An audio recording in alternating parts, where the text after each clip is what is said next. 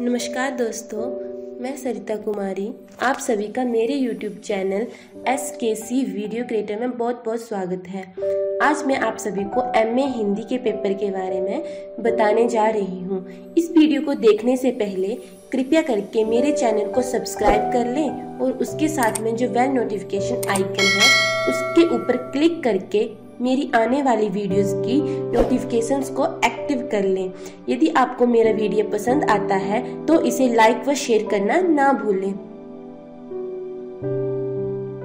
आज मैं आपको M A Hindi second semester paper code आठ, हिंदी भाषा एवं देवनागरी लिपि पेपर के बारे में बताऊँगी, जो पेपर सितंबर 2021 में आया था।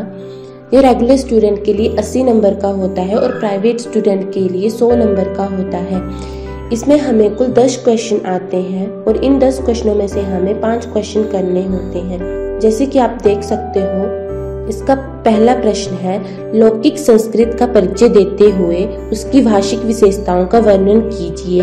इसका दूसरा प्रश्न है, अपभ्रंश के भाषिक स्वरूप को स्पष्ट करते हुए उसकी विशेषताओं का परिचय दीजिए। इसका तीसरा प्रश्न है, आधुनिक भारतीय भाषाओं का उल्लेख करते हुए उनका वर्गीकरण कीजिए। इसका चौथा प्रश्न है, पश्चिमी हिंदी की भाषिक विशेषताओं की चर्चा कीजिए। इसका पांचवा प्रश्न है, खड़ी बोली के स्वरूप और वैशिष्ट्य पर प्रकाश डालिए। इसका छठा प्रश्न है, पूर्वी हिंदी का भाषिक वर्गीकरण प्रस्तुत करते हुए उसकी विशेषताओं का परिचय दीजिए।